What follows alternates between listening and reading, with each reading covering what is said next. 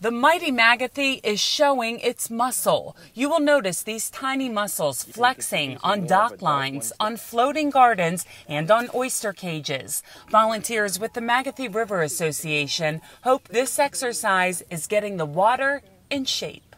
They are, you know, constantly filtering um, the surrounding water and cleaning it up in the process. These shells aren't the kind you'll see served up on a plate with butter and garlic bread. They're called dark false mussels, considered native to the Chesapeake Bay.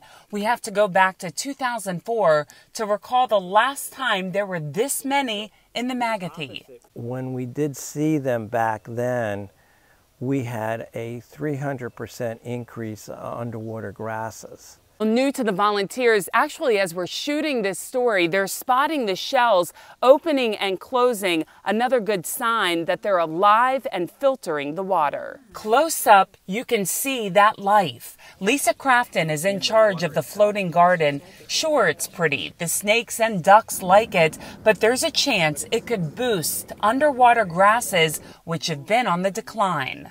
As part of their metabolic process, the plants are utilizing the nutrients in the water, um, nitrogen, phosphorus. That is the, the, nutrition that's helping the plants to grow. And in return, the plants are returning oxygen to the environment and to the, you know, the water. Volunteers think the heavy rain this spring contributed to low salinity in the Magothy, bringing on the mussels. This is Cattail Creek. Once a week, volunteers record the critical factors like dissolved oxygen.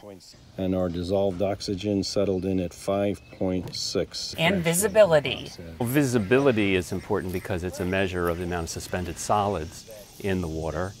Uh, and with suspended solids, the chief source of that is stormwater runoff. They're controlling what they can by finding ways to filter the water to offset what they can't, the weather and development in the area.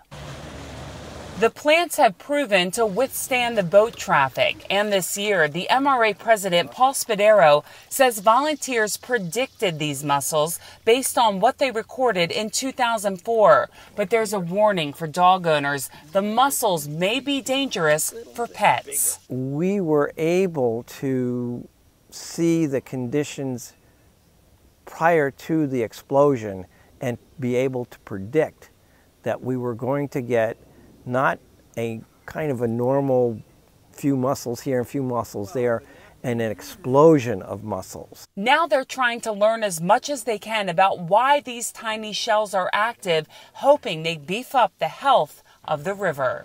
For Chesapeake Bay Magazine's Bay Bulletin, I'm Cheryl Costello.